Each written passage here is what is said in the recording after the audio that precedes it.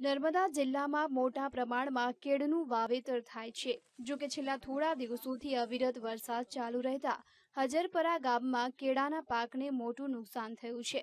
અહીં ખેડૂતોએ ટીસ્યુ કલ્ચરથી કેળની રોપણી કરી હતી અને પાક પણ તૈયાર થવામાં હતો. તેવામાં સર્જાયેલી પૂરની પરિસ્થિતિથી ખેડૂતોને મોટું નુકસાન ભોગવવાનો વારો આવ્યો છે. આ ગામની આશરે બસો એકર જમીનમાં કેળનો પાક નાશ પામ્યો છે. નર્મદા ડેમ ઓવરફ્લો થયો, એને કરજણ ડેમનું પાણી આવ્યું.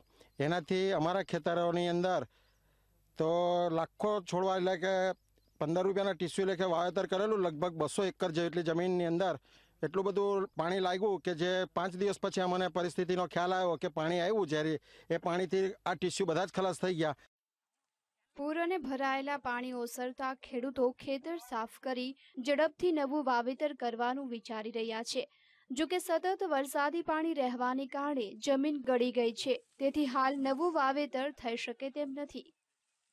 આવું નવું જો દર વર્ષે ચાલશે, તો અમે શ્રીમાન ખેડૂતો છે, નાના ખેડૂતો છે અને અમારે માટે એ રોટલા કાઢવાના પણ તકલીફમાં અમે પડી એવું છે.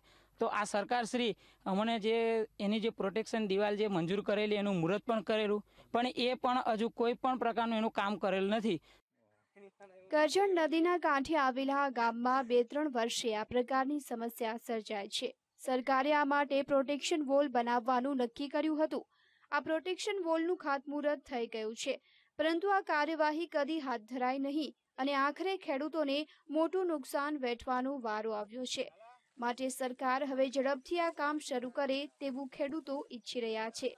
જયેશ દોશી, વીટીવી, રાજપીપળા.